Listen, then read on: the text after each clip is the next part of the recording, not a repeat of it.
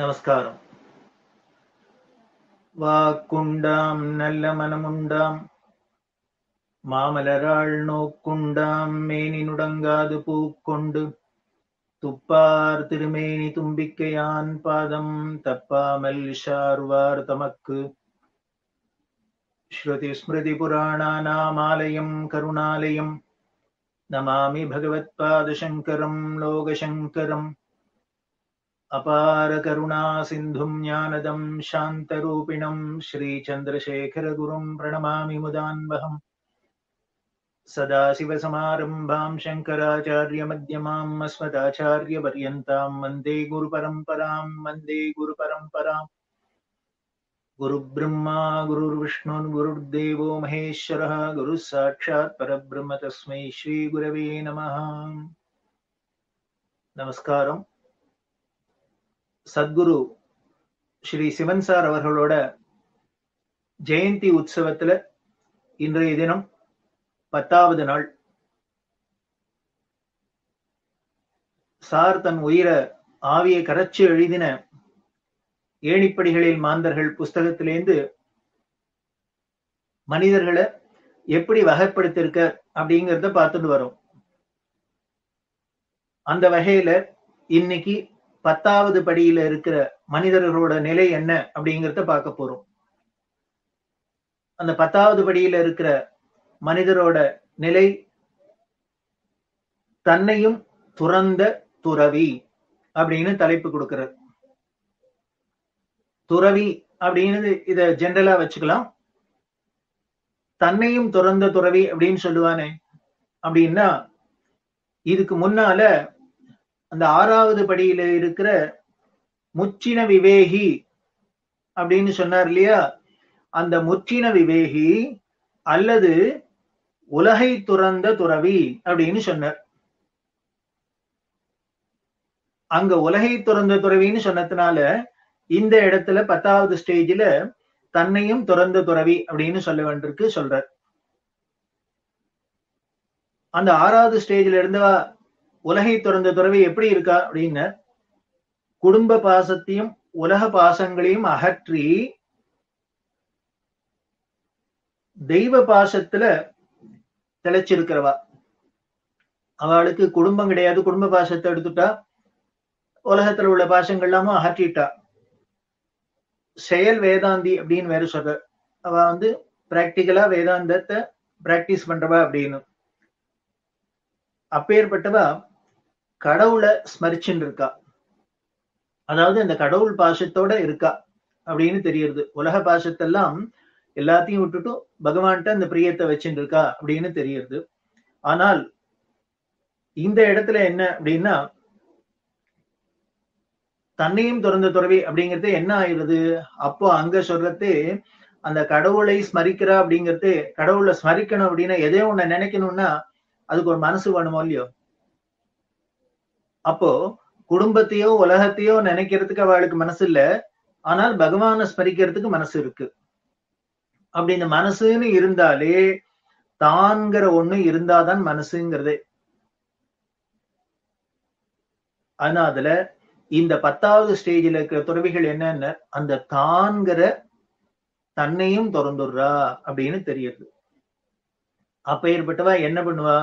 அந்த தன்னையும் துறந்த துறவின்னு பத்தாவது படியில இருக்கிறவர் எப்படி இருப்பார்? அவரோட லட்சணங்களை இப்ப சொல்றார். தெய்வ பாசத்தையும் அகற்றியவர். முன்னவே சொன்னேன் இல்லையா? ஆறாவது ஸ்டேஜ்ல இருக்கிறவா? கடவுளை ஸ்மரிச்சுன்னு இருப்பா அப்படின்னு. ஆனால் இந்த பத்தாவது ஸ்டேஜ்ல வந்த துறவி என்ன பண்ணுவான்னு அந்த தெய்வ பாசத்தையும் அகற்றிடுவா. முன்னமே சொன்னேனே ஆசை அருமின் ஆசை அருமின் ஈசனோடாயினும் ஆசை அருமின் அப்படின்னு அந்த பகவான்கிட்ட கூட பிரியத்தை வச்சிருக்கிறத விட்டுடணும் அப்படிங்கிறது. வேதமே அப்படிதான் சொல்றது இந்த ஆத்ம ஞானிகளுக்கு ஆத்ம ஞானத்தை அடைஞ்சவாளுக்கு அதுக்கப்புறம் இவாளே இல்லை அப்படின்னு ஆனதுக்கு அப்புறம் அவளுக்குன்னு அப்புறம் ஒரு அம்மா இருக்க முடியுமா? அப்பா இருக்க முடியுமா? குடும்பம் இருக்க முடியுமா? இல்ல அவளுக்குன்னு ஒரு இஷ்ட தெய்வம் இருக்க முடியுமா? என்னதான் இருக்க முடியும்? ஒன்னும் இருக்க முடியாது. அந்த ஸ்டேஜ்ல இவனே இல்லைங்கிற போது ஒண்ணுமே இல்ல வேதமும் வேதமும் இல்ல அப்படின்னு வேதம் சொல்லி தருது அதனால இவா தெய்வ பாசத்தையும் அகற்றியவா. ஆத்மீக சக்தியை அடைந்தவர். ஆத்மீக சக்தியை அடைந்தவர் அப்படின்னா என்ன? ஆத்ம ஞானம் அடைஞ்சவர்னு அர்த்தம். தன்னோட உள்ளுக்குள்ள இருக்கிற அந்த ஆத்மா என்னங்கிறத உணர்ந்தவர். ரமண மகரிஷி எல்லாம் சொல்றாரு இல்லையா? நான் யார்? விசாரம் பண்ணிப்பாரு அப்படின்னு. அந்த நான் என்னங்கிறத தெரிஞ்சின்றவர். அந்த ஆத்மஸ்வரூபத்தை தெரிஞ்சின்றவர். அதனால இவருக்கு தெய்வ பாசமும் அகன்று போயிடுறது. அப்படியா? ஆத்மத்தை தெரிஞ்சின்றதுனால ஆத்ம ஞானம் அடைஞ்சதுனால பேரின்பத்துல ஆழ்ந்திருக்கார் அப்படியே பேரின்ப கடல்ல இருக்கார். நமக்கு சிற்றின்ப கடல்ல இருக்கோம். கல்யாணம் பண்ணிக்கிறதுல ஆசை குழந்தைகள் வித்துக்கிறதுல ஆசை இனிமே ஹோட்டலுக்கு போறதுல ஆசை இதை சாப்பிடுறதுல ஆசை இதை வாங்குறதுல ஆசை இதை வா அதை வாங்குறதுல ஆசை. இப்படி எல்லாம் ஒவ்வொன்றுக்கும் நமக்கு இன்பம் கிடைக்கிறதுன்னு தானே இதெல்லாம் பண்ணிட்டு இருக்கோம் இந்த விவகாரம் எல்லாம் பண்றோம். இந்த சிற்றின்பத்துல நமக்கு தலைச்சிருக்கிறது இந்த இன்பம்னா என்னன்னு இப்ப தெரிஞ்சுடுத்து நமக்கு. இதெல்லாம் டெம்பரவரியா இருக்கு கொஞ்ச நேரத்துக்கு இருக்கு. ஆனால் இந்த கொஞ்ச நேரத்துல இருக்கிற இன்பத்திலேயே நம்ம மனசு விடாத அதை போய் பிடிச்சிட்டு அதுக்கு அலையிறது அப்படின்னா சதா சர்வகாலம் சதானந்தம் சதானந்தம் நித்யானந்தம் அப்படின்லாம் சொல்றாளே அந்த நித்யானந்த நிலை சதானந்த நிலையில அப்படியே அன்இன்டரப்டடா இருக்கிறது முதந்துன்னு இருக்கிறது அப்படின்னு வேணா சொல்லலாம். அப்படி இருப்பாளாம். பேரின்பத்தில் ஆழ்ந்து மூழ்கி இருப்பா அப்படின்னா அப்படி ஒரு ஆனந்தம் கிடைச்சு கொடுத்தோம்னா யாரானும் அதை விட்டு வெளியில வரத்துக்கு தான் விருப்பம் இருக்குமா? வரணும்னு தோணுமா? தோணவே தோணாது. இந்த டெம்பரவரி இன்பத்திலேருந்தே இந்த சிற்றின்பங்கள்ல இருந்தே நமக்கு வெளியில வரத்துக்கு பிடிக்கல அப்படின்னா அந்த பேரின்பத்துல மூழ்கிட்டோம் அப்படின்னா அப்புறம் எப்படி நம்மளால வெளியில வரத்துக்கு தோணும்? வெளியில வரவும் முடியாது. ஏன்னு வெளியில வரணும்னாக்கா அப்ப மனசு ஒண்ணு வேணும். அந்த மனசு போனாதான் இந்த பேரின்பம் கிடைக்கும். அது சதா ஆனந்தமா இருக்கு. அந்த ஆனந்தமா இருக்கிறது தான் பிரம்மம் அப்படின்னு நமக்கு வேதம் சொல்லி கொடுக்கிறது. ஆனந்தோ பிரம்மே திவ்ய ஜானாத். அந்த பிரம்மம் பிரம்மம்னா என்ன அப்படின்னு அந்த பேரின்பமா இருக்கே ஆனந்தமா இருக்கே அதுதான் பிரம்மம் அப்படின்னு சொல்லுது. அது எங்க இருக்கு? இப்போ உனக்குள்ளேயே இருக்கிறத நீ தெரிஞ்சுனுட்ட. ஆத்ம ஜானியா ஆயிட்ட. அதனால தத்துவம் அசி. நீ அதுவாவே இருக்க அப்படின்னு மகா வாக்கியம் நமக்கு சொல்லித்தருது. வேதம் உணர்த்துறது அப்படி இருக்கக்கூடிய அந்த நிலையை அடைந்தவர்கள் தான் இந்த தன்னையும் துறந்த துறவி அப்படின்னு. இப்ப அவளுக்கு ஈகோங்கிறதே இல்லாத போயிடுத்து நான் அப்படிங்கிறதே இல்லாத போயிடுத்து சுருங்க சொல்றதானா அத்வைத சித்திய அடைஞ்சவா அப்படின்னு சொல்லணும். அத்வைத சித்தியை அடைந்தவர்கள் அப்படின்னு. தன்னையும் துறக்கிறதுனா என்ன? அப்படின்னா நான் தான் இருக்கேனே சார் உடம்பு இருக்கு கை இருக்கு கால் இருக்கு. அப்படின்னா எல்லாம் இருக்கு சார் ஆனா உள்ளுக்குள்ள இந்த மனசுதான் இல்ல. மனசு இல்ல. அந்த இருந்தாதான் அதை ஐடென்டிஃபை பண்ணி காமிக்கிறது. இது நான் நான் நான் அப்படின்னு. அதனால தான் நான் அப்படிங்கிற அந்த ஈகோ போயிடுத்து இருக்கிற இடம் தெரியாத அழிஞ்சு போச்சு. அப்படிதான் அந்த பெயெடுத்தினாலே தான் தன்னையும் திறந்தாச்சு அப்படின்னு. அந்த நான் அப்படிங்கிறது எண்ணம் இல்லை அப்படின்னாலே அப்புறம் அவன் இவன் அது இதெல்லாம் ஏன்னா என்ன இருக்குமா? தோணுமா? திரு தோணாதே. இப்ப நான்கிறதே எனக்கு இல்லாத போயிடுத்துன்னா அப்புறம் எய்தாப்புல இருக்கிறது அடுத்தாப்புல இருக்கிறது அவர் இவர் அது இதெல்லாம் தெரியாது. தெரியவே போயிடாது. இப்படி இருக்கிற வெளியில இருக்கிற இந்த வேற்றுமை அத்தனையும் போயிடும். எல்லாம் போயிடுத்துனா வேற்றுமை எல்லாம் போயிடுத்துனா என்ன? அந்த துவைத பாவம் அப்படின்னு சொல்லக்கூடிய நான் நான் அப்படின்னு முதல்ல ஐடென்டிஃபை பண்ணிட்டு எனக்கு அந்நியமா அது இருக்கு இது இருக்கு அப்படின்லாம் இது நாம நினைக்கிறது. அந்த தைத பாவம் பேடுத்து அப்படின்னால் அந்த தைத பாவம் எப்ப போகும் அப்படின்னர். வெளியில இருக்கிறதெல்லாம் அழிச்சுட்டாக்க போயிடாது. உள்ளுக்குள்ள இருக்கிற நானே அழிச்சுட்டேன்னா வெளியில இருக்கிறது எல்லாம் க்ளோஸ் அவ்வளவுதான். போயிடுறது. அப்படி அந்த துவைத பாவம் போயிட்டு வெளியில இருக்கிறது எல்லாம் போயிட்டதுனால எஞ்சி இருக்கிறது என்னப்போ ஒன்னே ஒண்ணுதான். எது? அதுதான் இது. தத்து துவம் அசி அதுவாவே நான் இருக்கேன் அப்படின்னா இப்ப இருக்கிறதே நான் ஒண்ணுதான் அப்படின்னாக்க அதோட சுவாவம் என்ன? அதோட நேச்சர் என்னன்னு பேரின்பம் ஆனந்தம் அப்படின்னா அதுக்கப்புறம் சஞ்சலம் இல்ல. பயம் இல்ல. ஏன்னா நமக்கு அந்நியமா இன்னொன்னு இருந்தா தானே அதை பார்த்து ஒண்ணு பயப்படணும். அதை பார்த்து ஆசைப்படணும். அதை பார்த்து கோவப்படணும். இப்போ இல்லையே கோபப்படுறதுக்கோ ஆசைப்படுறதுக்கோ காமத்துக்கோ ஆசை எதுக்குமே விரும்புறதுக்கோ விரும்பாத இருக்கிறதுக்கோ ஒண்ணுமே இல்லாத போயிடுத்துன்னா நான் மட்டும்தான் இருக்கேன்னா அப்போ பயம் இல்லை எனக்கு. வெளியிலேருந்து எதுனாலையும் எனக்கு ஒரு பயம் இல்லாத போயிடுது. அதனாலதான் அபயம் அப்படின்னு பேரு. அபயஸ்தானம் அபயஸ்தானம்னு அத்வைத சித்தியில அந்த அத்வைத மோட்சத்துலதான் அத்வைத அனுபூதியில தான் இப்படி ஒரு அபயஸ்தானமா இருக்கும். ஏன்னால் அங்க பயத்தை கொடுக்கறதுக்கு ரெண்டாவதே ஒண்ணு கிடையாது. பயப்படுறதுக்கு மனசுன்னு ஒண்ணும் கிடையாது. அப்படி இருக்கிறவர்கள் தான் தன்னையும் துறந்த துறவி அப்படின்னு சொல்ற அதனால அத்வைத சித்தி அடைஞ்ச புருஷர்களை துறவி அப்படின்னு சொல்லி அவர்களை தன்னையும் திறந்து துறவின்னு ஸ்பெஷலா அதை நமக்கு உணர்த்தரர் அந்த தன்னை துறக்கிறது அப்படின்னா அது எவ்வளவு பெரிய ஒரு விஷயம் அப்படின்னு நாம எதையானு தொலைச்சிட்டோம் அப்படின்னா நமக்கு கஷ்டமா இருக்கு துக்கமா இருக்கு. ஆனா நம்மள தொலைச்சிட்டோம் அப்படின்னா நான்கிறத தொலைச்சிட்டா பேரின்பமா இருக்கு. என்ன ஒரு கான்ட்ராஸ்ட் பாருங்க. ஆச்சரியமா தான் அப்படி அந்த பேரின்ப கடல்ல திளைச்சிருக்கிற துறவிகள் அவளோட அந்த குணாதிசயங்கள் என்ன அப்படிங்கறத நமக்கு லிஸ்ட் போட்டுன்னு வர்றாரு இல்லையா? அதுல ஒவ்வொன்னா பார்த்துன்னு வரலாம். அந்நிய மதத்தினரால் அடைய முடியாத நிலை. எடுத்தோன்னையே ஒரு பெரிய விஷயத்த சொல்றார். என்னன்னர் அந்நிய மதத்தினரால் அடைய முடியாத நிலை. உடனே நாம மத சண்டை போட்டு இங்க பிரயோஜனம் இல்லை. ஏன்னர் மத்த மத சித்தாந்தத்தெல்லாம் இப்படி ஒரு நிலைங்கிறதையே சொல்லல புரிஞ்சுக்கல. அவளுக்கு அது தெரியாது சொல்லல. சோ அப்படி ஒரு நிலை இருக்கு. தன்னை இழந்த நிலைன்னு ஒண்ணு. அந்த தன்னை இழந்த நிலைன்னா அது பேரின்பம் தான். அதனால இழந்துட்டதுனால துக்கப்படுற நிலை இல்லை. அப்படிங்கிற இந்த ஒரு பெரிய ஒரு வேதாந்த ரகசியத்தை புரிஞ்சுக்கல சொல்லல அதனால அதை அடையறதுக்கு சாத்தியமும் இல்லை. இந்த ஊர்ல இந்த விஷயம் இருக்கு இப்படி போனா கிடைக்கும் அப்படிங்கறத சொல்லி தெரிஞ்சுட்டாதானே நம்ம அதை அடைய முடியும். எந்த ஊர்ல என்ன இருக்கு ஒரு ஊர் இருக்கு அதுல ஒரு சாமான் இருக்கு அது அடைய இதெல்லாமே தெரியலன்னாக்க அது அப்புறம் எப்படி அடைய முடியும்? அதனால அந்நிய மதத்தினரால் அடைய முடியாத நிலை. ஏன்னா அவளோட சித்தாந்தத்துல அவளோட பிலாசபில இப்படி ஒரு நிலையை அவளால கற்பனை கூட பண்ணி பார்க்க முடியல. இல்லை. சோ அதனால அடையறதுக்கும் சான்ஸ் இல்லை அடுத்தது மருந்தளவு உணவை ஏற்கவும் கூடியவர். இந்த பல நிலைகள்ல வரத்தே மேல படியில ஏறி ஏறி வரத்தே கூட அந்த உணவை பத்தி சிவன் சார் அப்பப்போ ரெஃபர் பண்ணிட்டே வர்றார். ஏன் அப்படின்னர் என்னதான் அவ உள்ளுக்குள்ள மனசு இல்லாத இருந்தாலும் வேற எந்த ஒரு எண்ணங்கள் இல்லாத இருந்தாலும் உடம்புன்னு ஒண்ணு இருக்கும் இல்லையோ அது இருக்கிற வரைக்கும் இருந்துதான் ஆகும். அந்த பிராரப்தம் வரைக்கும் இருந்துதான் ஆகும்.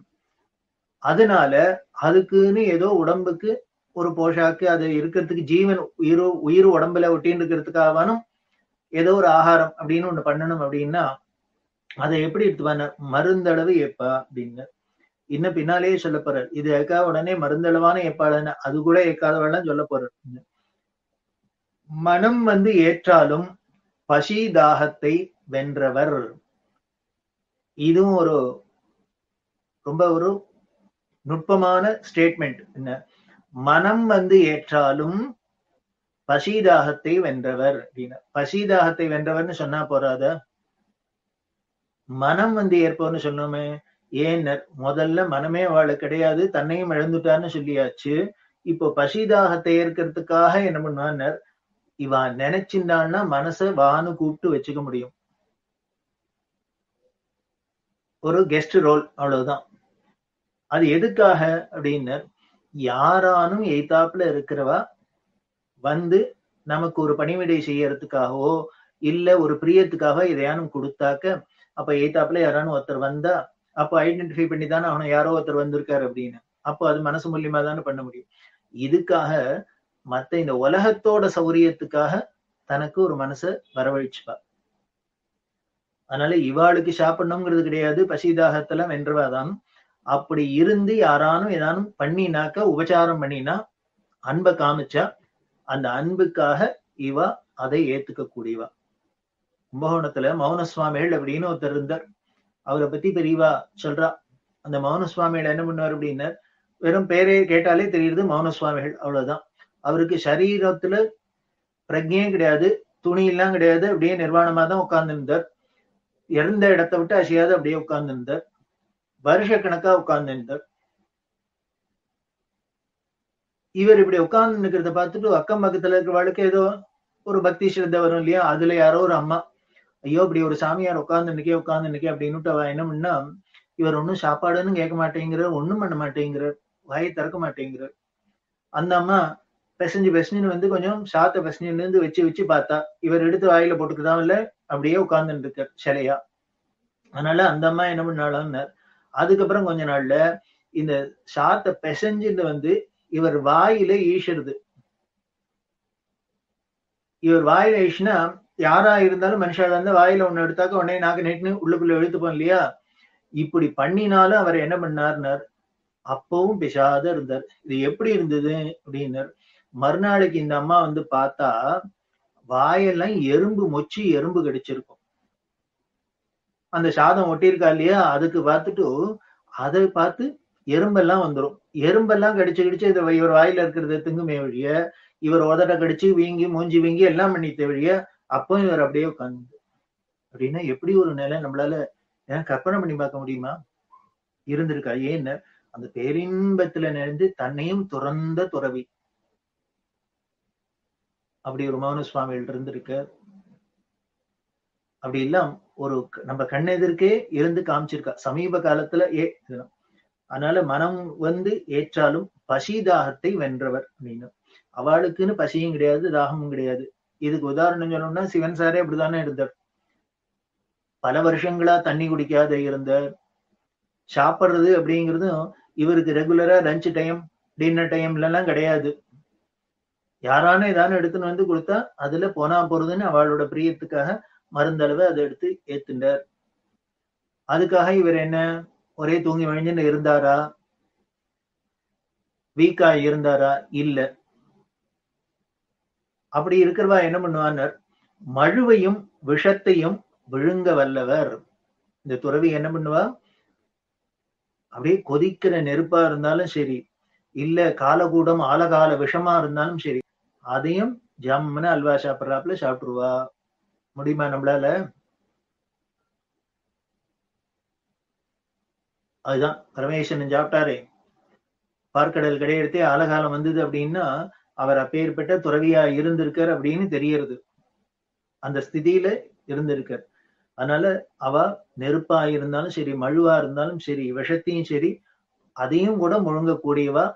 அப்படி ஒரு இந்த சரீரம் தாங்குமான்னா அது அதான் அது அப்ராகிருத சரீரம் அப்படின்னு சொல்லுவார். நமக்கெல்லாம் பிரகிருதி சரீரம் இந்த பஞ்சபூதங்களுக்கு உட்பட்ட சரீரம் அவர்களுக்கு இந்த பஞ்சபூதங்களுக்கு அப்பாற்பட்ட சரீரம் அதனால அப்ராகிருத சரீரம்.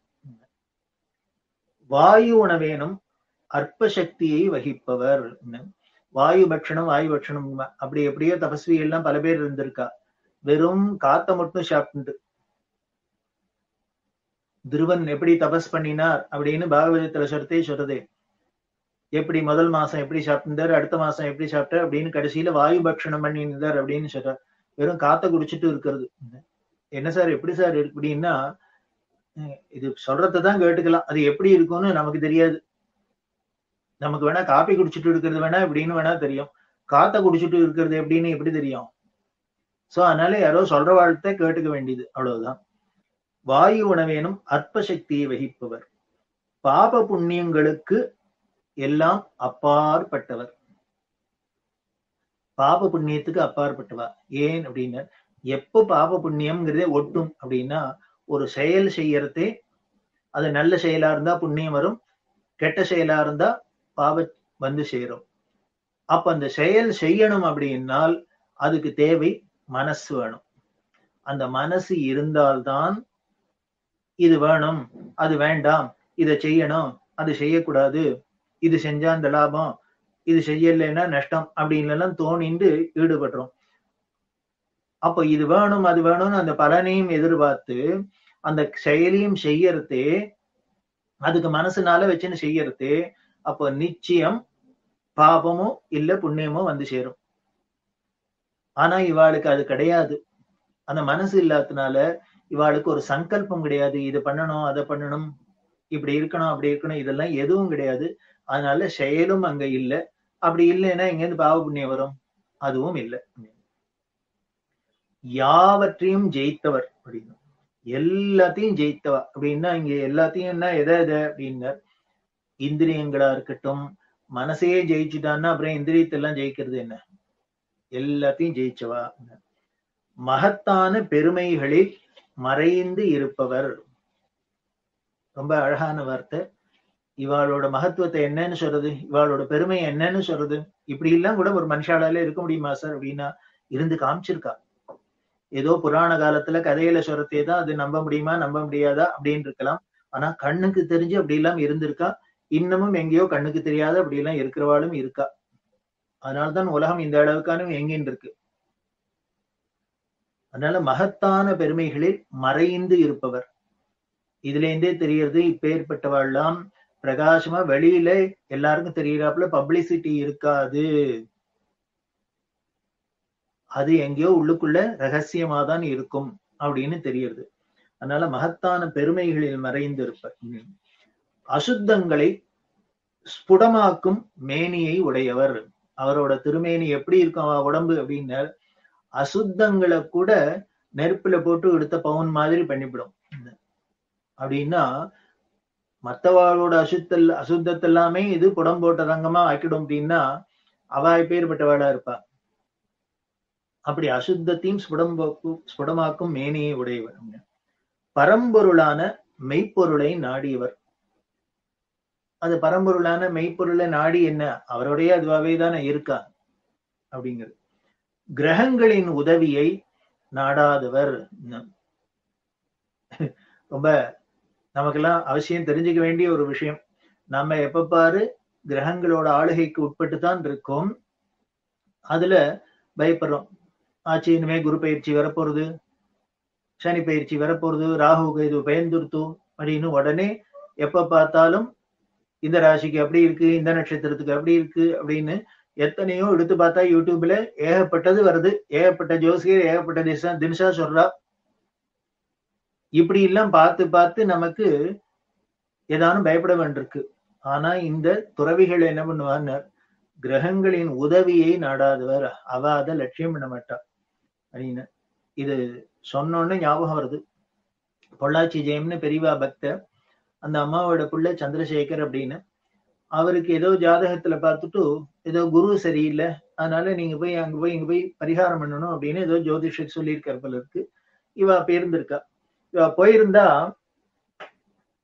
பெரியவா அப்போன்னு பார்த்து அவளை வர சொல்லி லெட்டர் போட்டிருக்கா. இந்த லெட்டர் வந்த சமயத்துல இவ ஊர்ல இல்ல இந்த பரிகாரத்துக்காக ஏதோ ஒரு ஊருக்கு போயிருக்கா. இந்த வந்து பார்த்ததுக்கு அப்புறம் லெட்டரை பார்த்த உடனே உடனே மடத்துக்கு வந்திருக்கா. வந்தா பெரியவா உடனே கேட்டா கடுதாசி போட்டு ஒரு சின்ன இப்பதான் வருவியா? உடனே வரமாட்டியா அப்படின்னு. இல்ல நாங்க ஊர்ல இல்ல இப்ப வெளியில போயிருந்தோம் எங்க போயிருந்தேன் அப்படின்னு. இது மாதிரி இந்த ஊர் கோவிலுக்கு அங்க என்ன உனக்கு வேலை அப்படின்னு. இல்ல பரிகாரத்துக்கு போயிருந்தேன் என்ன பரிகாரம்? இல்ல சேகருக்கு ஏதோ குரு சரியில்லை. அதனால பண்ணணும்னு சொன்னா அதுக்காக போனோம். இப்படி சொன்னோடனே அப்படி படுத்துண்டு கேட்டு இந்த பெரியவா யாரு சரியில்லை? அப்படின்னு. என்ன குரு சரியில்லையா? எந்த குரு? இந்த பஞ்சாங்கத்துல இருக்கே இந்த பஞ்சாங்கர குருவா அப்படின்னு. பஞ்சாங்கத்துல தானே நவகிரகம் இருக்கு. உடனே பெரியவாசர இவரு நான் தான் உனக்கு குரு. நான் சரியா இருக்கேன். இன்னமே இதை அவாவா சொல்றதுக்குன்னா அலையறத முதல்ல நிறுத்து. அலையறத நிறுத்து. நான் தான் குரு உனக்கு. நான் சரியா இருக்கேன். இனிமே எல்லாரும் சொல்றதையும் கேட்டுனா அலையறத நிறுத்து. ஏன்னு அவ துறவி கிரகங்களின் உதவியை நாடாதவ அவ எதை பார்த்து பயப்படணும்? அதே மாதிரி திருவாரூர் வக்கீல் சேகர் அவருக்கு ஏதோ சனி சரியில்லை குரு சரியில்லை அதனால தான் ரொம்ப கஷ்டப்பட்டார். சொன்னா அப்ப வந்து பெரியவாள்கிட்ட சொல்ற. அவர் என்ன பண்ணி திருவாரூர்ல இருந்து மெனக்கிட்டு மெட்ராஸ்க்கு பெரியவா வர சொன்னாலும் மெட்ராஸ்க்கு வந்துட்டு ஒரு வாடகை வீட்டுல இருந்து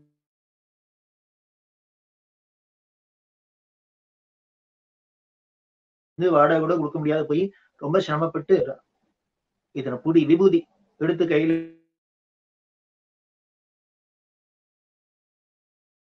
கொடுத்து இவர் உன்னை என்ன பண்ண குரு என்ன அது நவகிரகங்களோட சேலஞ்சா உனக்காச்சு எனக்காச்சு இது என்ன? எப்படி பார்க்க முடியும்?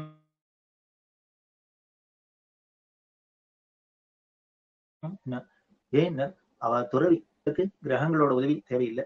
இவாளுக்கு கிரகங்களோட உதவி தேவையில்லை. ஆனா இவாளை நாடினவாளுக்கே பார்த்தே கிரகங்கள்லாம் பயப்படுறாப்புல பண்ணிவிடுறா அப்படின்னா எந்த அளவுக்கு அவளோட ஆன்ம பலம் இருக்கும்? ஆன்மீக சக்தி எவ்வளவு வலியது அப்படிங்கிறது தெரியுது. அதே மாதிரி இன்னொருத்தர் யாரோ இந்த பொண்ணுக்கு கல்யாணம் ஆக மாட்டேங்கிறது தட்டி தட்டி போறது அப்படின்னா ஏன் அப்படின்னு தெரியும் இல்ல என்னமோ ஜோசி எல்லாம் பார்த்தா ஜாதகத்துல இன்னும் குரு குரு கடாட்சம் படல குரு பார்வை படலைங்கிறா. அதனாலதான் டிலே ஆகுதுங்கிறாங்க என்னது குரு பார்வை படலையா அப்படின்னு? ஜாதகத்தை கொண்டா அப்படின்னு ஜாதகத்தை எடுத்தா பிரிக்க சொன்னா பிரிச்சு பார்த்துட்டு இப்படியே நன்னா உத்து பார்த்துட்டும் குரு பார்வை பட்டுடுத்து போயிட்டு வா எல்லாம் ஆயிடும். அடுத்த ஒரு வாரத்துல கல்யாணம் நிச்சயம் ஆயிடுது. இதான் துறவிகளோட நிலை. இது கிரகங்களின் உதவியை நாடாதவர்னு சார் போட்டிருக்க லட்சணத்தை பார்த்தோன்னு இவ அண்ணா எப்படி எல்லாம் கிரகங்கள் எல்லாம் கிரகங்கள் எல்லாம் அவ அண்ணாவை பார்த்து பயந்துங்கிறது அது பக்தாள் மூலியமா தெரியுதுங்கிறது ஞாபகம் வந்தது. நினைத்தால் ஏனைய செய்திகளையும் ஏற்பவர். இவா நினைச்சுட்டான்னா மத்த விஷயங்கள்லாமும் கேட்டுப்பா. பெரியவா பேப்பர் படிச்சா அத்தை படிச்சா எத்த படிச்சா இதெல்லாம் பார்த்தா நமக்கு என்ன ஒரு பெரிய ஞானிங்கிற ஒரு பாட்டுக்கு சும்மா நிஷ்டையில உட்காந்து இருக்காத இந்த ஊர் வம்பெல்லாம் அடிப்பாளா அப்படின்னா வேணும்னாக்க போனா போறதுன்னு ஃபார் ஏ சேஞ்ச் இதெல்லாமும் கேட்டுப்பா. ஆனா மனசுக்குள்ள இறங்காது பாதிக்காது. பகைவனுக்கு இடமில்லாதவர். எப்படி சார் இருக்க முடியும்? பகைவனுக்கு எங்க இடம் இருக்க முடியும்? ஏன்னர் அதான் இவருக்கு அந்நியமா இன்னொன்னே கிடையாது. இன்னொரு வஸ்துவே கிடையாதுங்கிறதே இப்ப பகைவன்கிறதே இருக்க முடியாது. அதனால இவர் ஒருத்தர் தான் இருக்காருன்னா இவரே இவருக்கு பகைவரா இருப்பான்னு இருக்க மாட்டார். அதனால பகை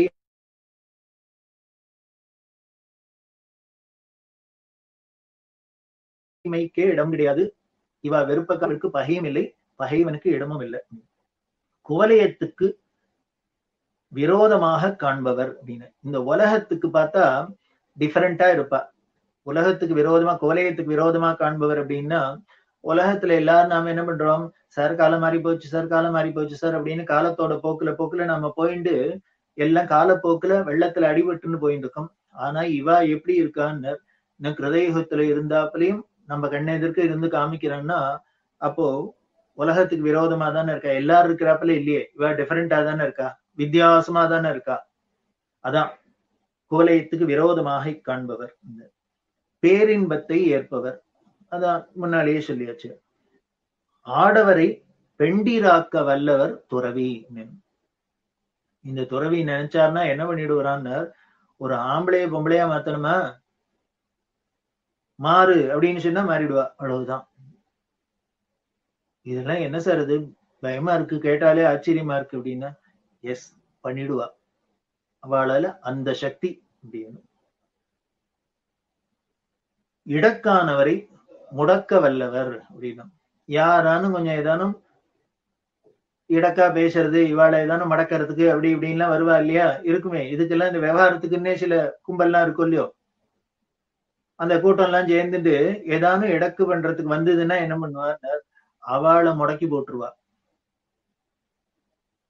அவளை வழிக்கு கொண்டு வந்துருவா அதுதான் அங்க அவளோட பெருமை.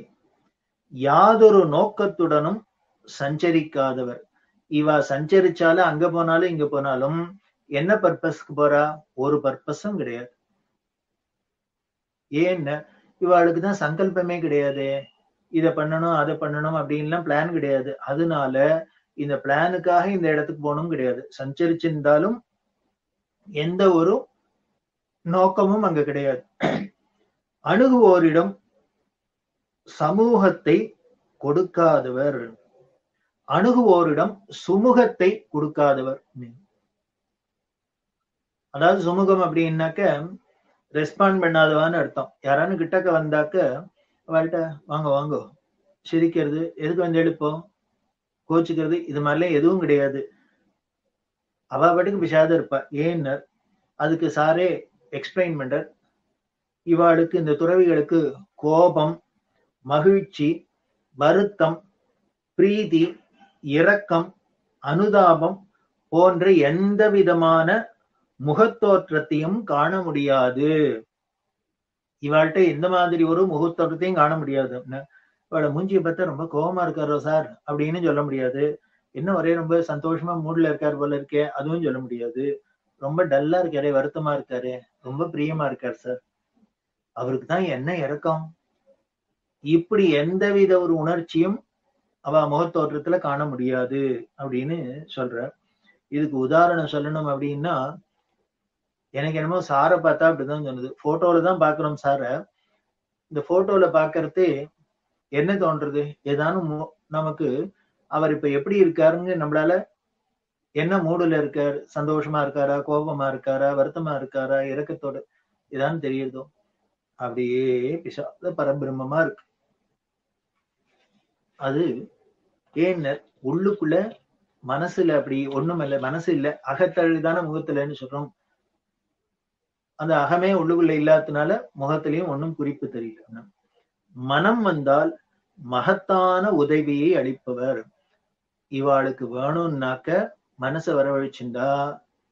எய்தாப்புல பாக்குறவாளுக்கு பெரிய என்ன மகத்தான உதவியை அளிப்பார். என்ன வேணா அனுப்பார் சேஷாதிரி சுவாமி எல்லாம் பத்தி சொல்றாளே. தங்கக்கை அப்படின்னு. ஏதோ போய் தொட்டர் அது உடனே போனா மாறி எடுத்து அந்த ஆளுக்கு ஒரே வியாபாரமா ஆயிடுத்து. குமிஞ்சது அப்படின்னா ஏன் இப்படி பண்ணார்? அப்படின்னு அக்கா உடனே திருவண்ணாமலை இருக்கிற எல்லா வியாபாரியும் போய் பண்ணப்படாதோ அப்படின்னு. என்னமோ தெரியாது. அந்த ஆளுக்கு அன்னைக்கு அதிர்ஷ்டம். அவ்வளவுதான். ஏய் தாப்புல இவர் வந்தார் பார்த்தார். அந்த கருணை வந்தது பண்ணின சரியா போச்சு. அவ்வளவுதான். உபச்சாரத்திற்கு கட்டுப்படாதவர். ஒருத்தர் நம்மள ரொம்ப கூப்பிட்டு உபச்சாரம் பண்ணி எல்லாம் பண்ணி பிரியமா இருந்தா நம்ம ஒரு மாதிரி அவள்கிட்ட ஒரு பாண்டேஜ் இருக்கும் இல்லையோ? ஒரு கட்டுப்படுறோம் அவளுக்கு. அவளோட அன்புக்கு கட்டுப்படுறோம். அவளோட ஒரு மரியாதைக்கு. ஆனா இந்த துறவிகள்லாம் என்ன பண்ணுவாங்க? விழுந்து விழுந்து உபச்சாரம் பண்ணாங்கிறதுக்காக அவளை கட்டுப்பட்டுற மாட்டா. சொல்லணும்னா ஆயிரத்தி தொள்ளாயிரத்தி நாற்பத்தி மூணுல பெரியவா சேலம் டிஸ்ட்ரிக்ட்ல நாமக்கலுக்கு பக்கத்துல ஒருவந்தூர் அப்படிங்கிற ஒரு ஊர்ல இருந்தா. அந்த ஊர்ல ஒரு வக்கீல். அவர் பெரியவாளை வந்து அந்த ஊர்ல இருக்கணும் இருக்கணும்லாம் கூப்பிட்டாரு. அதனால வந்தா அது அகண்ட காவேரியில இருக்கிற ஊரு அந்த ஊர்ல நாலஞ்சு நாளா இருந்து எல்லாம் பண்ணிருக்கா அவ ரொம்ப உபச்சாரம் எல்லாம் பண்ணிட்டு இருக்கா அந்த ஊருக்கு காவேரியில அக்கறையில தான் நெரூர் சதாசிவ பிரம்மேந்திரால அதிஷ்டானம் இருக்கிற ஊர். பெரியவாளுக்கு ஒரு ஆசை. அப்படி காவேரியை குறுக்க கடந்தாக்க நெரூருக்கு போயிடலாம். பிரம்மத்தை சதாசிவ பிரம்மேந்திரால பார்த்துடலாம். அதனால ஒரு நாளைக்கு என்ன பண்ணியிருந்தா அந்த வக்கீல்கிட்ட சொல்லி நாளைக்கு என்ன பண்ண வெடிகாரத்தால நான் ஒரு எனக்கு தொப்பம் ஒண்ணு பண்ணுவேன் அந்த தொப்பத்துல இங்க இருந்து நேர காவேரியை கிராஸ் பண்ணி அக்கறைக்கு போயிடுறேன். அங்க போய் பிரம்மேந்திரால தரிசனம் மட்டும் அதுக்கப்புறம் திருநாராயணபுரம்னு ஒரு ஊர் அடுத்த ஊருக்கு கேம்ப் அங்க போறேன். அப்படின்னு சொல்லியிருந்தா இதை ஒத்துட்டையும் சொல்ல வேண்டாம். நீ ரகசியமா எல்லாத்தையும் பண்ணி வை அப்படின்ட்டு இந்த வக்கீல்கிட்ட சொல்லிட்டா.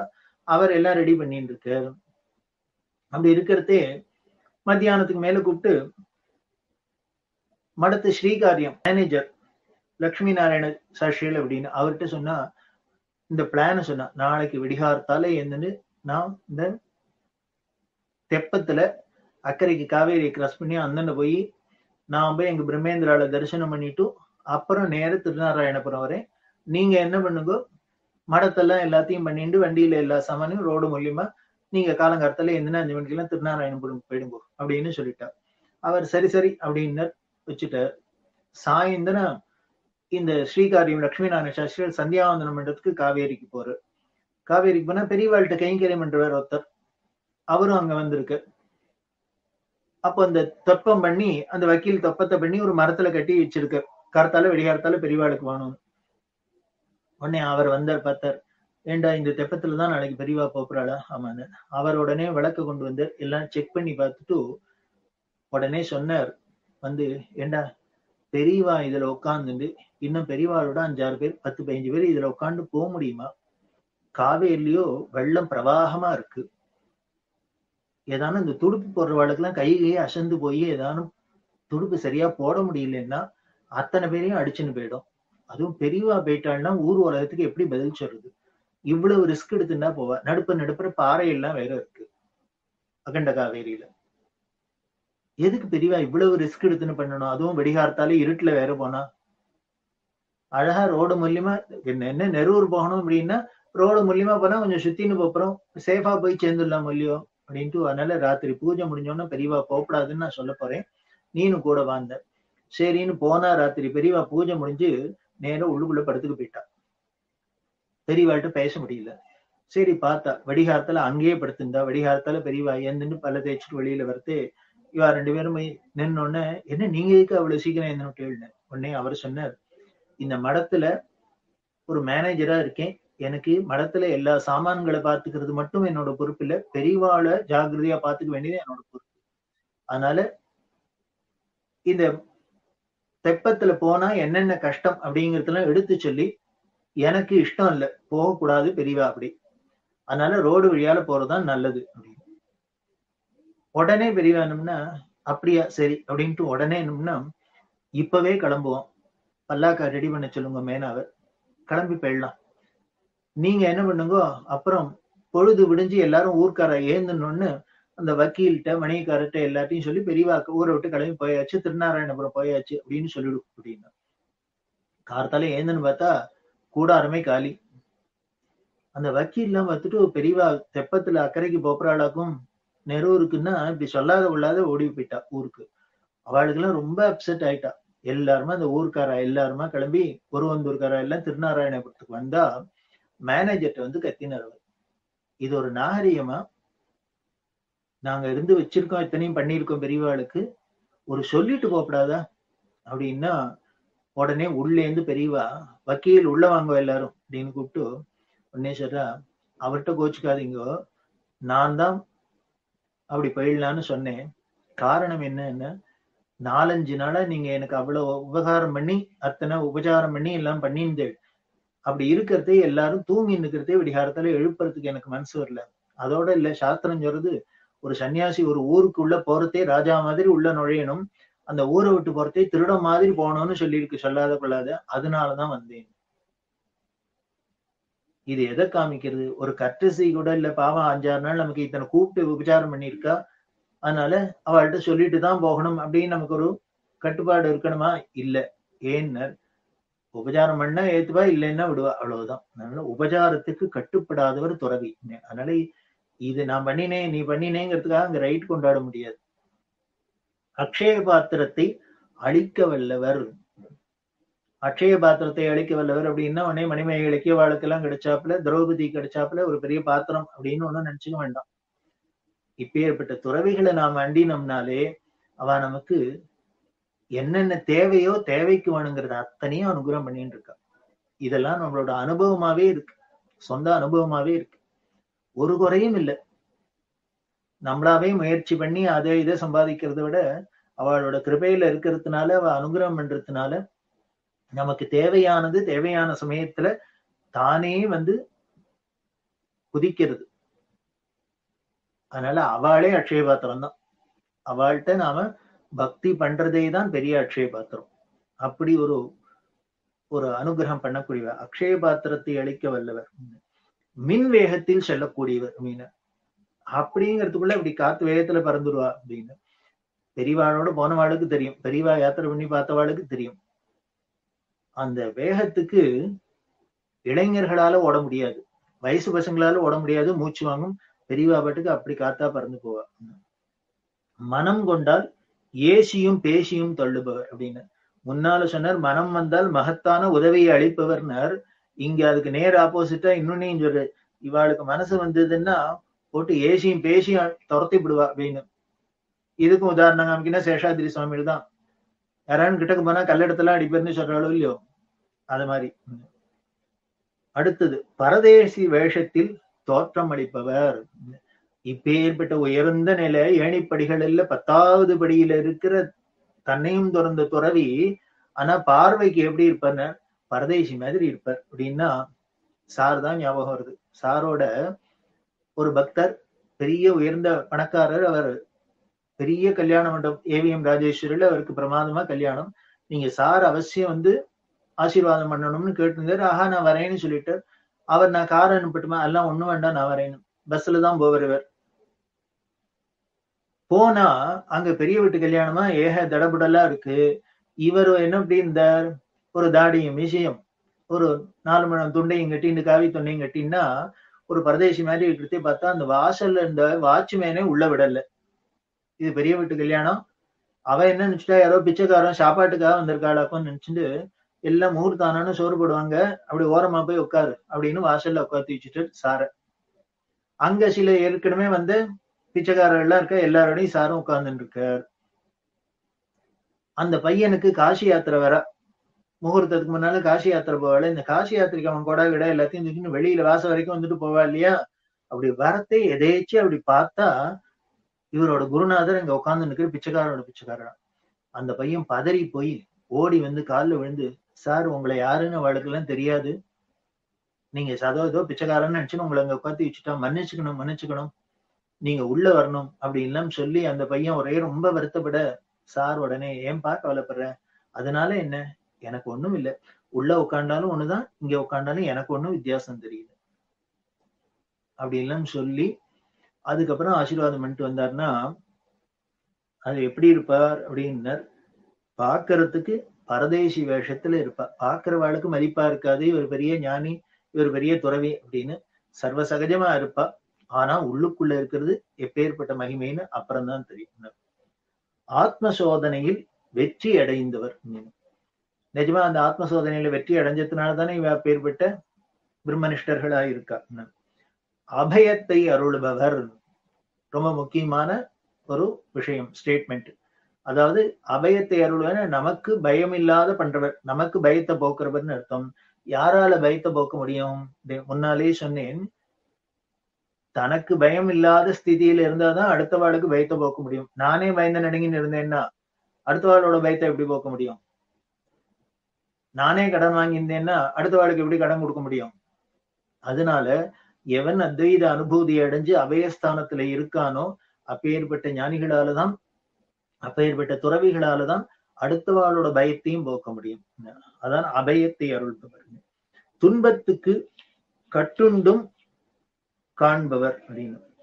அதாவது இவன் என்ன ஒண்ணு கஷ்டப்படுறாப்புலயும் அதுக்கு ஆளானாப்புலயும் காமிச்சு பாடம் துறவிகள்லாம். இதுக்கு ராமர் தான் ஞாபகம் வருது. சீதையை காண அடிச்சுட்டு காணும்னு சொல்லிட்டு இவர் மரமையை பார்த்தியா மட்டையை பார்த்தியான்னு அழுததெல்லாம் ராமாயணத்துல வருதோ இல்லையோ ராமர் பேர் பெற்றவர் அப்பெயர் பெற்றவர் ஒரு மனைவியை காணுங்கிறது பார்த்துட்டு ஒரு சாதாரண மனுஷன் மாதிரி அவர் பிஹேவ் பண்ணார் அப்படின்னா அது வேணும்னு பண்ணி காமிக்கிறது. அதுக்காக. நிகரில்லா நிலைக்கு உயர்ந்தவர்.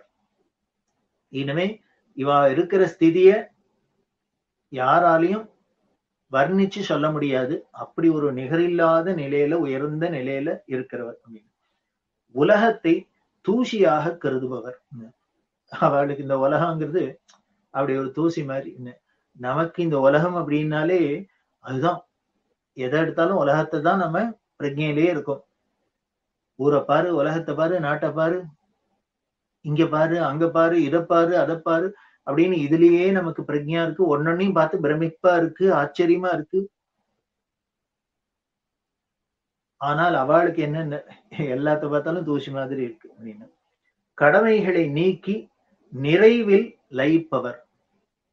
அவளுக்குன்னு ஒரு டியூட்டி கிடையாது அவளுக்குன்னு ஒரு ரெஸ்பான்சிபிலிட்டி கிடையாது. அப்படி ஆத்மா ராமனா இருக்கிறவ எப்போதும் நிறைஞ்சு இருக்கா. அப்படியே ஃபுல்ஃபில்டு லைஃப் அவ்வளவுதான். உடல் உணர்ச்சியை கொள்ளாதவர். அவளுக்கு இந்த சரீர பிரஜையே இருக்காது. உடல்ல உணர்ச்சியே உடல் உணர்ச்சியை கொள்ளாதவர் அப்படிங்கிற இதுக்கும் சாரை தான் ஞாபகம் வருது. சார் கும்பகோணத்துல இருக்கிறதே சேது அப்படின்னு அந்த பாடசாலை பசங்க அங்க அந்த இந்த பசங்கள்லாம் என்ன பண்ண அதுல சேது அப்படிங்கிறவர் அவளுக்குள்ள இந்த பசங்களுக்குள்ள ஒரு போட்டி வச்சிருந்தா. என்னன்னா சிவன் சார்ட்ட ரொம்ப பழக்கம் அவளுக்கு. இது பட படிக்கிற குழந்தைகள் தானே சின்ன குழந்தைகள் சார்ட்ட பழக்கம். சார் குளிக்கிறதே இல்லை. அதனால அந்த பசங்க எல்லாம் ரெண்டு பேரும் இல்லாம பெட்டு கட்டிண்டா சாரை குளிக்க வச்சிடணும் அப்படின்னு. இல்ல குளிக்க வைக்க முடியாது அப்படின்னு. இல்ல நான் வச்சிருவேன். இல்ல வைக்க முடியாது. ரெண்டு பேரும் கிட்ட உடனே என்ன பண்ணா அப்படி சாரை குளிக்க வச்சா வடை ஒண்ணும் பிரைஸ் அதுக்கு கிஃப்ட் வடை அப்படின்னு இப்படி எல்லாம் பந்தயம் வச்சிருந்தா வந்து இந்த சேது வந்து கேட்ட சார்ட்ட சார் சார் நீங்க குளிக்கணும் குளிக்கணும் அப்படின்னு. அதாவது இவ பந்தயம் வச்சுட்டுக்கோங்கிறது சார்ட்ட சொல்லல. ரொம்ப கரிசனமா குளிப்பாட்டுறாப்புல குளிப்ப குளிக்கணும் குளிக்கணும் அப்படின்னு. இல்லப்பா அதெல்லாம் இல்லப்பா விட்டு போச்சுப்பா அப்படின்னு. இல்ல சார் நீங்க குளிக்கணும் சார் குளிக்கணும். இந்த சின்ன பையன் பாடசாலை பையன் கெஞ்சித்தா இப்படி ரொம்ப இந்த குழந்தைகள் கேட்ட உடனே சார் உடனே கேட்ட இவரு நீங்க எல்லாம் சொல்றீங்களேன்னு குளிக்கிறேன். ஆனா ஒரு கண்டிஷன் நான் சொல்றபடிதான் குளிப்பாட்டணும். குளிப்பாட்டி விடுவேடா அப்படின்னு. ஆஹ் பண்றோம் சார் அப்படின்னு. என்ன பண்ணுன்னு சொல்லுங்க அப்படின்னு. என்ன பண்ணு போய் உள்ளுக்குள்ள தவலையில நல்ல கொதிக்கிற வெந்நீரை போடும் இந்த வெந்நீர் எப்படி இருக்கணும்னு அரிசியை களைஞ்சு போட்டா சாதமாயிடணும். அப்படி கொதிக்கிற வெந்நீரை வச்சுக்கோ சரி. நல்ல மிளகாப்பொடி கார பொடி காரப்பொடியில இத்தனை ஒரு தட்டு எடுத்துன்னு இந்த பசங்க பயந்து போயிடுது இது என்ன குளிக்கிறதுக்கு இதெல்லாமே வச்சுப்பா. வெந்நீர்ல வேணா குளிப்பா அதுக்காக என்ன சாதத்தை அரிசியை போட்டாக்க சாதம் ஆற அளவுக்கு அப்படி தலைக்கிற வெந்நீர் வச்சுப்பாளா? பொடி வச்சுப்பாளா? என்ன பண்ணுதுன்னு புரியல. சார் சார் இதெல்லாம் இருக்கு அப்படின்னு நான் முன்னாலேயே சொன்னேன். நீங்க குளின்னு சொன்னா நான் குளிக்கிறேன்னு இல்லையோ? உங்கள்ட்ட கண்டிஷன் போட்டேன்னு இல்லையோ? நான் குளிக்கிறேன். நீங்க கண்டிஷன் போடுறேன் நான் சொல்ற கண்டிஷனுக்கு ஒத்துனாதான் குளிப்பேன்னு சொன்னேன் சரின்னு சொல்லிக்க அதனால என்ன ஏதுன்னு கேள்வி கேட்கக்கூடாது. மரியாதையை கொண்டு வாங்க. இதுகளுக்கு மாட்டின்னு கொடுத்து என்ன பண்றதுன்னு தெரியல. கொண்டு வந்தா தட்டு நிறைய மிளகா இவர் உட்காந்துட்டு தட்டு நிறைய இருக்கிற மிளகா அப்படியே தலையில கொட்ட சொல்லி அந்த கொதிக்கிற வெந்நீரை தலையில கொட்டும் இந்த பசங்கள் அழுது கதறி தீர்த்து ஐயோ சார் இப்படி எல்லாம் பண்ணுவேன்னு தெரிஞ்சுன்னா என்ன ஆகும்? தன்னை மிளகாப்படியும் மேல கொட்டிண்டு கொதிக்க கொதிக்க வெந்நீரையும் கொட்டினா என்ன ஆகும் உடம்பு? உடம்பாவா இருக்கும் அப்புறம். இது பயந்து போயிடுத்து ஐயோ வேண்டாம் வேண்டாம்னு கதற. அதெல்லாம் இல்ல பண்ணிதான் ஆகணும். நீங்க சொல்றத நான் கேட்டேன் இல்லையோ? நான் சொல்றத நீங்க கேளுங்க. இவ ஏன் சொன்னோன்னு ஆகி அப்புறம் அதிரு சார் ஒரு வடைக்காக இப்படி ஆசைப்பட்டு இதை பண்ணிட்டோம் தப்பு தப்பு மன்னிச்சுக்கோன்னா சார் விடல. இவ தலையில மிளகா மிளகாப்படியும் கொட்டி வெந்நீரையும் கொட்டினா என்ன ஆச்சு? அப்படியே உடம்பு கண்ணங்கருக்கு கருகி போயிருக்கணும் இல்லையா? அப்படி ஆச்சுன்னார். இல்ல. அது சாதாரண ஏதோ ஷவர்ல குளிச்சாப்புல இருந்திருக்கு அப்படின்னா இவாளுக்கு அந்த உடல் உணர்ச்சி அப்படின்னு நமக்கா இருந்தா துளி தண்ணியும் பட்டதுனாலே துளி வெந்நீர் சூடா பட்டா பொறுக்கல துளி மிளகா அப்படி கண்ணில் விட்டா பொறுக்கல்ல. இப்படி இல்லாம இருக்கு. நம்ம சரி உட உடம்பு அப்படி ஒரு உணர்வு பூர்வமா இருக்கு. ஆனா அவளுக்கு எப்படின்னார்? வெறும் மரக்கட்டை மாதிரி இருக்கும் போல. ஸ்தானம் வேணும் ஆஹா அப்படின்னு ஸ்தானம்னா பட்டு போன மரக்கட்டை. பரமேஸ்வரன் எப்படி இருக்காரான்னு பட்ட மரக்கட்ட மாதிரி இருக்கார் அப்படின்னு சொல்றது. அதைத்தான் இங்க நமக்கு காமிக்கிறது இந்த சிவமும் அதனால உடல் உணர்ச்சியை கொள்ளாதவர். உண்மையை உரைக்க அதே மாதிரி மேனியில் வியர்வையை கொள்ளாதவர். ரொம்ப முக்கியமான விஷயம். இவாளுக்கு உடம்புல உணர்ச்சியும் உடல் உணர்ச்சியும் இல்லைன்னா வேர்வையை கொள்ளாதவர் அப்படின்னு. நமக்கெல்லாம் வேர்க்கிறது இல்லை வேர்க்காத இருக்க முடியுமா? சித்த நேரம் ஃபேன் இல்லாத ஏசி இல்லாதெல்லாம் இருக்க முடியல. ஆனா அவளுக்கு முன்னவே சொல்லியிருக்கேன் சாரை பாக்குறதுக்கு போனாக்க சார் இந்த மெட்ராஸ் வெயில்ல எவ்வளவு ஹாட்டா இருக்கும்னு எல்லாருக்கும் தெரியும்.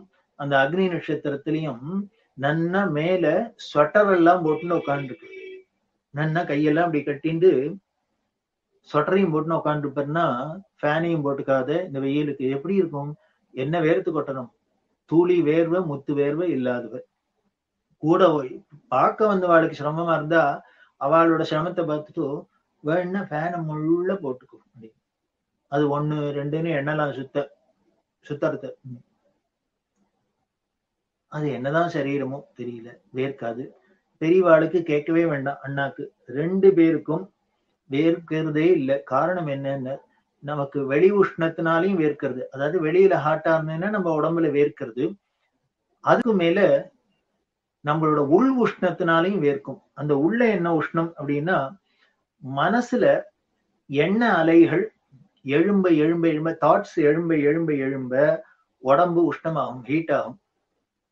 அதனால வேர்க்கும். ஒண்ணு அப்படின்னா அதைத்தான் மனசுல தாபம் தாபம்ங்கிறவங்கள தாபம்னாலே தகிக்கிறது தானே தகிக்கிறதுனாலே சூடு தானே நம்ம சொல்றோம் இல்லையோ? அப்படி ஏதானு வந்துடுத்தோம்னா சூடேறி எடுத்தோ சூடேறி எடுத்து அப்படின்னா கோபமா இருக்கட்டும் காமமா இருக்கட்டும் சூடேறி எடுத்து சூடேறி எடுத்து அப்படின்னா அந்த கோபம் காமம்ங்கிறதுலாம் எங்க? மனசுக்குள்ளதானே எழும்புற ஒரு எண்ணம் தானே? இப்படி எழும்ப எழும்ப எழும்ப உடம்பு பாடி ஹீட் ஆயிடுது. அதனால வேர்க்கிறது. இவாளுக்கு துறவிகளுக்கு வெளி உஷ்ணத்தினால வேர்க்காதது இருக்கட்டும் உள் உஷ்ணத்தினாலையும் ஏன்னா உள்ள மனசே இல்லாததுனால அதுல எண்ணங்கள் எழும்பாததுனால ஹீட்டும் ஆகல. அதுதான். அதனால மேனியில் வியர்வை கொள்ளாதவர்னா அதுக்கு உள்ளுக்குள்ள பின்னாலே இவ்வளவு விஷயங்கள் இருக்கு. ஏதோ வெளியில ஒரு ஹீட்டுனால மட்டும் இவாளுக்கு வேர்க்காது இல்ல. இவாளுக்கு சுயமாவே அந்த உள்ளு உஷ்ணம் இல்லாததுனால மனசு இல்லாததுனால அதுல எண்ணங்கள் எழும்பாததுனால அப்படியே சாந்தமா குளிர இருக்கு குளிர்ந்து இருக்கு வணங்க தகுதியற்றவர் போல் தோற்றமளிப்பவர் அப்படின்னு. இவாளை பார்த்தா ஒரு பெரிய ஞானி முதல்ல சொன்னார் ஏதோ பார்த்தா பரதேசி மாதிரி இருப்பார் அப்படின்னு சொன்னார்.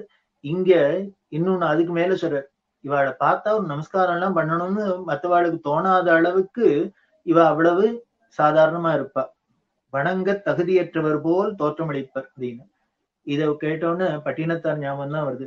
பட்டினத்தார் இப்படி ஒரு ஊரா தெரிஞ்சுட்டு பிரம்மஞானியா போய் உஜ்ஜயினியில இருக்க. உஜ்ஜயினியில ஒரு காளி கோயிலுக்கு பக்கத்துல ஒரு குப்பை தட்டியா அதுல அப்படி படுத்துட்டு இருக்க இத அறிஞர் ராஜா உஜ்ஜயினி ராஜா பத்ரகிரியாருங்கிறவர். அவர் பெரிய இந்த வேதாந்தத்துல ஈடு இவர்கிட்ட ஈடுபாடு உண்டு. பட்டினத்தார்ட்ட ரொம்ப ஒரு மதிப்பு அவரை பார்க்கணும்னு ஆசை. அவரே இங்க வந்திருக்காருன்னு நேரா இங்க தேடின்னு வர்றார். வந்தா இவர் குப்பை தொட்டியில கால் மேல காலை போட்டுன்னு படுத்துன்னு இருக்கார் எய்தாப்புல ராஜா வந்து இவர் பெரிய பிசினஸ் மேனா இருந்தார் வியாபாரியா இருந்து எல்லாத்தையும் விட்டுட்டு தானே காதிருந்த ஓசியும் வாராதுகான் கடை வழிக்கு முருகன் எழுதி வச்சதை கேட்டு தானே ஞானி அத்தனையும் அந்த க்ஷணம் விட்டு போனார். இதெல்லாம் கேள்விப்பட்ட ராஜா என்ன பண்ணா அத்தனை சௌரியம் இருந்தது. அப்படி இருந்தா பஞ்சமத்தையில படுத்துட்டு சௌக்கியமா இருந்திருக்கலாம். அதை எல்லாத்தையும் விட்டுட்டு வந்து என்ன கண்டேள் அப்படின்னு பட்டினத்தாட்ட கேட்கிறார் ராஜா. அதுக்கு பட்டினத்தாரோட பதில் அத்தனையும் விட்டுட்டு வந்ததுனால என்னத்த கண்டேன்னு கேக்குறியே? அத்தனையும் விட்டுட்டு வந்ததுனாலதான் நான் இப்படி படுத்துன்னு பதில் சொல்ல சக்கரவர்த்தியான நீ என்கிட்ட இதாவில கையை கட்டி நின்னுண்டுக்கு பதில் கேட்க கேள்வி கேட்கிற பாரு அதைத்தாண்டா கண்டேன்னு. இதே நான் ஒரு பிசினஸ் மேனா இருந்தா உன் ராஜசன்னிதியில உங்ககிட்ட முன்னால நான் இப்படி கால் மேல கால போட்டு படுத்துட்டு பேச முடியுமா? நான் வந்து உங்ககிட்ட உன் சபையில கையை கட்டி நிக்கணும். ஆனா நீ நான் இருக்கிற குப்பத்தட்டியை தேடின்னு வந்து நிக்கிற பாரு விட்டத்துல கண்ட பலன் இதான் உடனே அவர் என்ன பண்ணார் இப்பவே நானும் எல்லாத்தையும் விட்டேன்னர் உன்னோட சிஷ்யரா வந்துடுறேன் எதுக்கு சொல்றேன் பார்த்தாக்க இவாட ஒரு குப்பத்தொட்டியில விடுத்தா பார்த்து பெரிய ஞானின்னு வணக்கறதுக்காக தோணும். ஆனால் ஏமாந்துட முடியாது. திரிவதை கொள்பவர். முன்னால சொன்னாப்புல இங்கேருந்து இவர் உஜ்ஜயினிக்கு போவானே. பட்டினத்தார் அந்த பத்ரகிரியாருக்கு அருள் செய்யறதுக்காக? அதனால திரிவதை கொள்பவர். அடுத்தது பாக்கியசாலிகளால் அறிந்து தரிசிக்கப்படுபவர். முன்ன சொன்னதேதான் இதுக்கும் பொருந்தும். அந்த பத்திரகிரியாங்கிற பாக்கியவான் அவருக்கு தரிசனம் கொடுத்து ஆட்கொள்ளணும் இருந்தது அதனால இவர் போனார். அதே மாதிரிதான் இவ பாக்கியசாலிகளால் அறிந்து வணங்க தகுந்தவர் அப்படின்னு. தரிசிக்கப்படுபவர் கிடைச்சதே. நமக்கெல்லாம் கிடைச்சது அப்படின்னா ஒரு பெரியவா தரிசனம் கிடைச்சது சிவன் சார் தரிசனம் கிடைக்கிறது அப்படின்னா அவள்லாம் எப்பேற்பட்ட ஒரு பாக்கியவான்களா இருக்கணும் அப்படின்னு. இதுல இருந்து தெரியுது பாக்கியம் பண்ணியிருந்தா இப்பேற்பட்ட ஒரு மகான்கள்லாம் நம்ம நாலெட்ஜுக்கு வருவா அவளை பத்தி தெரிஞ்சுக்க முடியும் அவளோட பெருமையை உணர முடியும். அதனால அதுக்கு இதுல இருந்தே தெரியறது பாக்கியசாலிகள் அப்படின்னு தெரியறது பாக்கியசாலிகளுக்கு தான் இது கிடைக்கும். விழிப்பிலும் நினைவை அகற்றி விளங்குபவர். முழிச்சிருந்தா கூட நினைப்பு இருக்காது சரீர பிரஜை இருக்காது. உன்னதமான ஓய்வில் உற்சாகத்தை கொள்பவர். அதாவது சும்மா ஓய்வுல உட்கார்ந்துருந்தாக்க போர் அடிச்சு அப்படி எல்லாம் இருக்கு சோம்பேறித்தனமா இருக்குது இல்ல. அந்த உன்னதமான ஓய்வு அப்படிங்கிற ஓய்வுனா இது சோம்பேறித்தனத்து ஓய்வு இல்ல டயர்டான ஓய்வு இல்ல. அந்த பேரின்பத்துல தழைச்சு இருக்கிற ஓய்வு. அது என்ன? அன்னகிரி சொல்றாரு முருகன் வந்து என்ன சும்மா இரு சொல்லற அப்படின்னா சும்மா பிசாத வாய் மட்டும் உட்காரு அப்படின்னு சொன்னாராம். அதுக்கு அப்படி பண்ணினதுக்கு அப்புறம் என்ன அம்மா அந்த ஆனந்தம். நம்ம ஓடி ஓடி ஏதோ சாதிக்கிறதுல என்னமோ பேரின் பேரின்பத்துல காண்றோமே ஆனந்தத்தெல்லாம் அடையிறோம். ஆனால் இப்படி எல்லாத்தையும் விட்டுட்டு சும்மா இருக்கிறதுல எவ்வளவு ஆனந்தம் இருக்குங்கிறது சொல்றது அதான் உன்னதமான ஓய்வில் உற்சாகத்தை கொள்பவர்கள். ஜீவராசிகளையும் கடன்களாக காண்பவர். ஜீவராசிகளை கடனா பாப்பாளா ஆமா. அதுக்கு சார் நம்முடைய பாப புண்ணியத்துக்காக தானே நாம பிறக்க வேண்டியிருக்கு அந்த தோஷங்கள் எல்லாம் போக்கிக்கிறதுக்கு. அது மட்டும் இல்ல இதெல்லாம் பிறவி கடன் அப்படின்னு சொல்றோம். அத்தகைய வினைகளை கடன்களை தீர்ப்பதற்கு நாம் பிறவிகளை எடுத்து வருகிறோம். தவிர பாசங்களை துறக்க வேண்டிய சிறந்த கடமைகளை ஏற்பதும் பிறவி கடன்களே ஆகும். பிறகு யாவற்றையும் விலக்கி பகவானிடத்தில் சரணடைந்து விடுவதும் பிறவியை சரணடைந்து விடும் பிறவியை தெய்வீக கடன் என்பதாக அறிய வேண்டும். துறவிகளோ எக்கடனின் பொருட்டும் பிறவி ஏற்பவர்கள் அல்லர். பின்ன என்ன மாயா சக்தி அதாவது ஒரே கடவுளை காண்பதற்கு பேரின்பத்தை அனுபவிப்பதற்கும் அவர்கள் ஒதிப்பவர்கள் ஆவர் அப்படின்னு. நம்ம இந்த மாதிரி சாதாரண மனுஷாலாம் பிறக்கிறது பிறவி கடனை தீக்கிறதுக்கு ஆனால் இது மாதிரி துறவிகள்லாம் பிறக்கிறது அவ வந்து பிராரப்தத்தினால இல்ல கடனை தீக்கிறதுக்கு இல்ல. எதுக்குன்னு இந்த பேரின்பத்தையும் அந்த இறை சக்தியும் கண்டு தரிசிக்கிறதுக்காக தான் இவ பிறக்கிறா அப்படின்னு சொல்ற பொருளே இல்லாதவர். இவாள்கிட்ட எந்த ஒரு ஐவேஜும் ஒன்றும் கிடையாது. பணத்தை கணத்தில் குவிக்கவில்லை ரெண்டும் அழகா இருக்கு. முதல்ல சொன்னார் பொருளே வாழ்க்கை ஒண்ணும் கிடையாது நயா பைசா கிடையாதுன்னார். ஆனா அடுத்த ஸ்டேட்மெண்ட் என்னன்னு? அவ க்ஷணத்துல பணத்தை குவி குவிக்க வல்லவர் அப்படின்னு. அவ நினைச்சான்னா கோடி ரூபாய் கொட்டணும்னா அடுத்த நிமிஷம் கொட்டிடும். அப்படி. பாவங்களை நிவர்த்திக்கும் திருஷ்டியை வகிப்பவர். அவளோட பார்வையே போறோம் நம்ம யார் மேல படுறதோ அவளோட பாபங்கள் எல்லாம் போக்கிடும். அப்படின்னா. கடாட்சம் கடாட்சம். பண்ண பண்றோம் இல்லையோ? விழி கிடைக்குமா? அபய கரம் கிடைக்குமா? குருநாதன் சரணத்தில் இடம் கிடைக்குமா? அப்படின்லாம் பாடுறோம் இல்லையோ? எதுக்கு? அந்த கடாட்சம் படுறதுக்கு தான். அந்த பார்வை ஒண்ணு பட்டுடுத்துனா என்ன பண்ணும்? அப்படின்னு பாவங்கள்லாம் நிவர்த்தி ஆயிடும். அப்படின்னு சார் சொல்ற அதனாலதான் அந்த சந்நிதியில போய் நான் நிக்கிறோம்.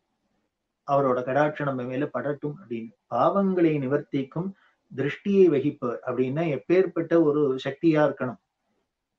பார்த்த மாத்திரத்துல அடுத்தவாரோட பாவத்தெல்லாம் பொசிக்கி விடுவார் அப்படின்னா அவர் எவ்வளவு பரிசுத்தனா இருக்கணும். உடலை அகற்றியும் இயங்குபவர். ரொம்ப முக்கியமான விஷயம். அவள் உடலை இல்லைன்னா கூட அதாவது சரீரம் வேடுத்துன்னா கூட அப்பவும் வேலை செய்வான்னு அர்த்தம்.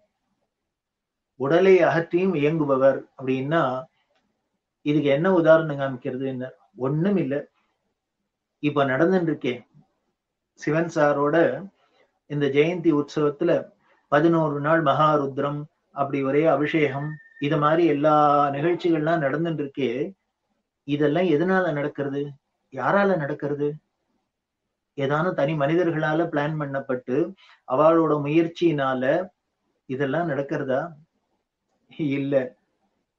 அந்த சூக்மமா இருக்கிற அந்த சார் நடத்தி வைக்கிற அந்த கருவியா வெளியில இருந்து எல்லாரும் பண்றா அவ்வளவுதான். பண்ணக்கூடியவர்கள்லாம் கருவி. அதனால இதுக்கு உள்ளுக்குள்ள எனர்ஜி எங்கேருந்து இருக்கு?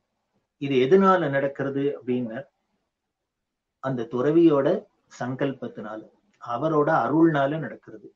இத்தனை பேருக்கு அருள் செய்யணும்னு அவர் நினைக்கிறார் இப்படி பண்ணணும்னு நினைக்கிறார். அதுவும் இந்த கொரோனாங்கிற ஒரு பெரிய கோர வியாதி வந்து உலகத்தையே ஆட்டி படைச்சுன்னுக்கிறதே இதுக்கு என்ன பண்றது? இதை விரட்டுறதுக்கு என்ன பரிகாரம்? அப்படின்னு அதனால கருணையினால சிவன் சார் என்ன பண்றார் தன்னோட பிறந்த நாள்ங்கிற ஷாக்க வச்சுண்டு இந்த ருத்ர ஜபம் எல்லாம் பண்ணி அந்த பரமேஸ்வரனோட கிருபையினால இந்த வியாதி எல்லாம் விலகி எல்லோரும் ஆரோக்கியமா ஆயுசோட இருக்கணும் அப்படிங்கிறதுக்காகத்தான் இதை பண்ண வச்சிருக்காருன்னு தெரியுது. அதனால இவ உடலை அகற்றினாலும் இயங்குபவர்னு தெரியுது அதே மாதிரி அக்னியிலும் பனியிலும் வீற்றிருப்பார். அவளுக்கு இன்னும் கோல்டா இருந்தாலும் சரி இல்ல ஹாட்டா இருந்தாலும் சரி இருப்பா பொறுப்பேற்க தேவையில்லை. எதுக்கும் அவ பொறுப்பேற்றுக்க மாட்டா. தேவையில்லை. பித்தனை போல் இருந்தும் உலகத்தை பித்தாக பார்ப்பவர். அலையும் பிரேத ஜீவன்களுக்கு சமணம் அளிக்க வல்லவர் அப்படின்னு அதாவது ஒரு சம்ஸ்காரம் இல்லாத அலையறதுலாம் இருக்கே அப்பேற்பட்ட ஜீவன்களுக்கு இவர் சமணம் அளிக்கக்கூடியவர் அப்படின்னு தெரியும் அதனால இவ நினைச்சாள்னா எல்லா ஜீவன்களுக்கும் சாந்தி அளிக்கிறான்னு. முன்னமே சொன்னேன் இவர் எதுக்காக இந்த மகாருத்ரம் இதெல்லாம் பண்ணணும்னு? இந்த கொரோனால எத்தனையோ துர்மரணங்கள் ஏற்பட்டு பேருக்கு எத்தனையோ பேருக்கு ஒழுங்கா சம்ஸ்காரம் எல்லாம் பண்ண முடியாத எத்தனையோ ஜீவன்கள்லாம் தவிச்சுன்னு இருக்கும் அது எல்லாத்துக்கும் சமணம் அளிக்கிறதுக்கு சாந்தி அளிக்கிறதுக்காக தான் இப்படி எல்லாம் பண்றான்னு தெரியுது இப்படி எல்லாம் நடத்தி வைக்கிறார் சார்னு தெரியுது. அதுதான் இங்க அப்படி இருக்கிறவ அத்வைதத்தின் சின்னமாக விளங்குவர். அந்த அத்வைதம் அத்வைதம் சொன்ன சித்தாந்தத்தோட ஒரு உருவமா விளங்குபவர் அப்படின்னு சொல்லி இன்னும் பல விஷயங்கள் இந்த துறவிகளை பத்தி சொல்லியிருக்கு. நாம நேரங்காலத்தை உத்தேசிச்சு இந்த அளவுல இதை நிறைவு செய்வோம். அப்படி இருக்கிற அந்த துறவி அப்படிங்கிறவர் துறவி துறவி அப்படின்னா நாம ஒரு சாதாரண வார்த்தை மாதிரி இருக்கு. அந்த துறவிங்கிறதுக்கு எவ்வளவு பெரிய விஷயம் இருக்கு எவ்வளவு லட்சணம் இருக்குங்கிறத சிவன் சார் ஏணிப்படிகள் மாந்தர்ஷரத்தை கேட்டோம். அப்படி இருக்கிற அந்த ஏணிப்படிகள் மாந்தர்கள்ல கடைசி மேல்படியான பதினோராவது படி என்ன அப்படிங்கிறத நாளை மாலை நாலரை மணிக்கு மீண்டும் சந்திக்கலாம். நமஸ்காரம்.